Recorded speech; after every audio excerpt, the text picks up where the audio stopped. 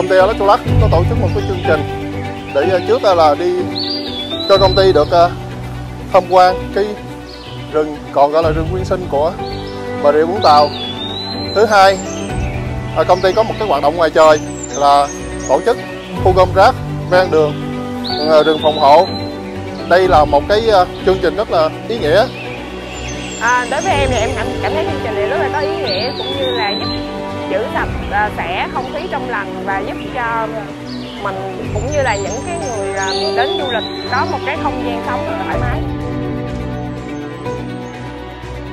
Thì hôm nay à, mình cũng cảm ơn công ty đã cho mình được một cái sự trải nghiệm để mình nhặt những cái thành phần rác mà để mình bảo vệ môi trường thì đây cũng không phải là lần đầu tiên mà Electrolux và chính bản thân mình tham gia những chương trình bảo vệ môi trường như thế này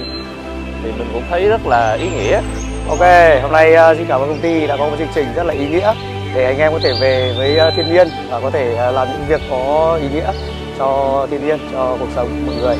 Uh, hôm nay đi thì biết là có một đường đẹp như này nhưng mà rất là nhiều rác. Cứ đi qua là biết với mà kia, biết với kia và rất là hại cho môi trường rất là mệt vất vả, nhưng mà mình thấy mình đóng góp được một cái phần nhỏ công sức của mình vô bảo vệ môi trường và truyền cảm hứng cho mọi người để bảo vệ môi trường xanh hơn.